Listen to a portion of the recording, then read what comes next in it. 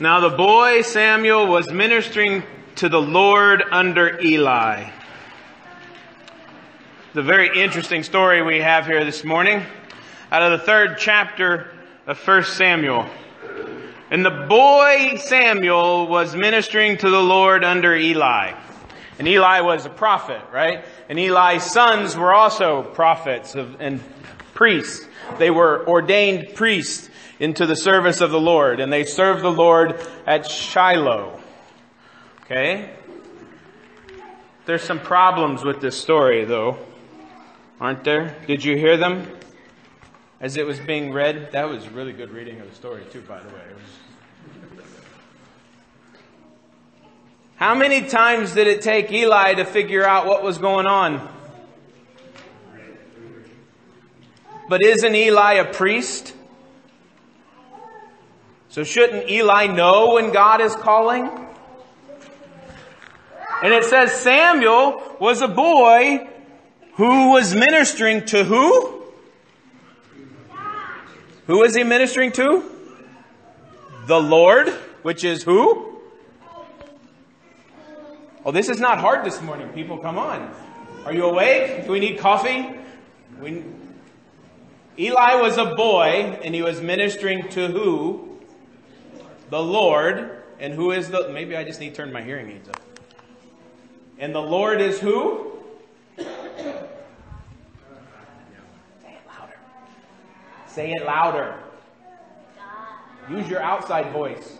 God. God, right. Eli is ministering to God under Eli, who is a priest. So what about this verse 7 down here then? Samuel, remember, Samuel is ministering to God. And then verse 7 says, Now Samuel did not yet know the Lord. Is that not, is that not a problem? If someone is ministering to serving the Lord, but yet they don't know the Lord, isn't that a problem? How does that how does that work? How does all of this play together?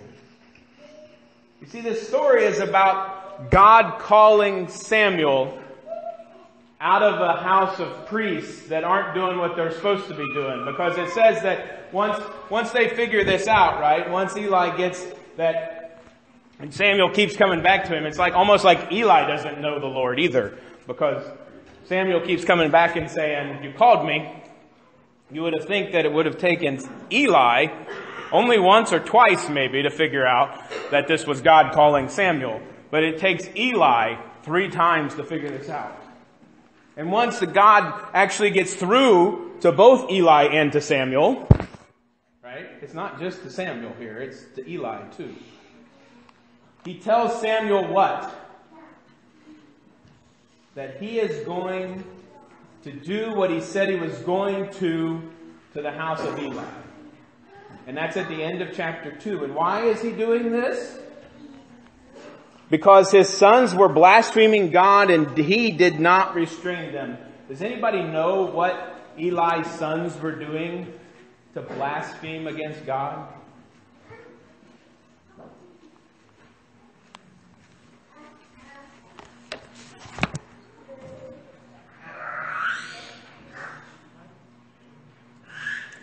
It has something to do with this. What do we put in here? Money. This and this is money for who? For God. Right? This is the money that, that when they, they'll pass it around here in a little bit. And you'll put your offering in here. The money that we use to run the temple. This isn't a temple, but the money we use to run the temple and to do ministry for God in the world. And Eli's sons were misusing the temple funds. And Eli knew it. He didn't do anything about it. And when he did try to do something about it, it didn't do any good. So God said that he was going to cut Eli and his, and his sons off because they were taking from God what was God's and not using it for the right reasons. And so God comes to Samuel and he tells Samuel all of this. And then the next morning he's afraid to tell Eli. Would you be afraid to tell Eli? But what's going to happen to you? Right? Eli's probably going to get upset. But Eli has the best prophetic pastoral response I've ever heard. Right? It is the Lord. Let him do what seems good to him. Because Eli actually is a good priest. Because he gets it. He knows that no matter what they do, no matter what kind of offering he tries to bring, no matter what kind of penance he tries to do, that God's not going to accept it. Because Eli and his children have gone too far.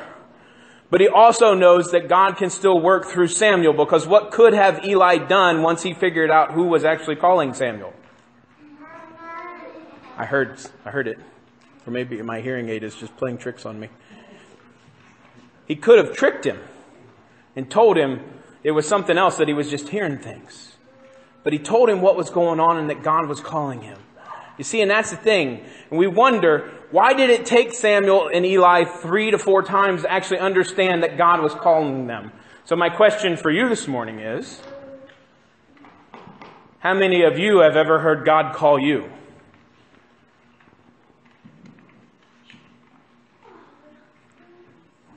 What did you say? Did you say not yet? Do you want a show of hands? Do I want a show of hands? I, I just wonder how many of you have heard God call you? I got one brave, two brave souls, three brave souls. How, okay, my next question is how many of you miss the fact that God has called you? That's, that's everybody. Raise your hands. Right? Because did you hear what I told the kids up here? It went right over their heads. I know. This is a hard one to do a children's sermon on. But did you hear what I told them?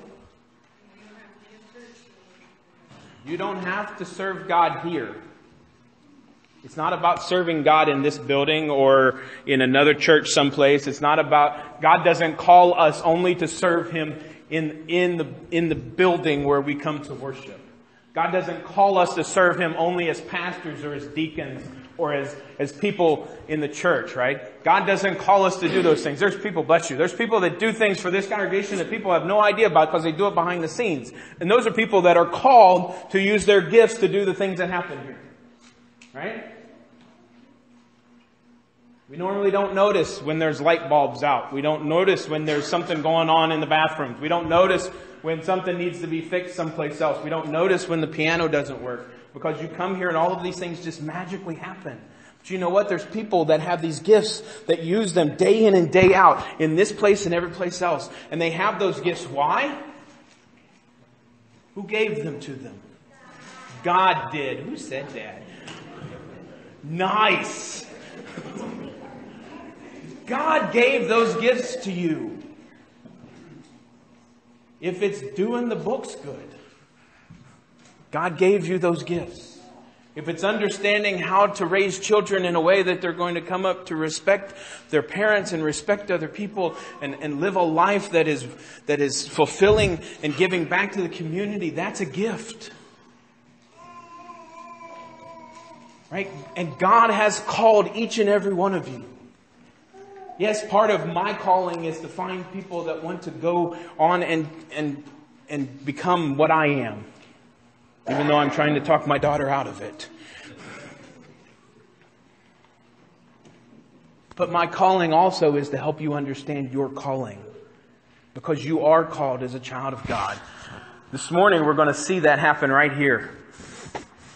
Piper is going to come up here in just a little bit with her mom and her dad and her sponsors and God's going to name her and claim her as her as his own child, and He has already given her a gift. What it is, do you guys do you guys know yet? no, probably not. We don't know. You may never know what that gift is, but God is calling you to use that gift in the world.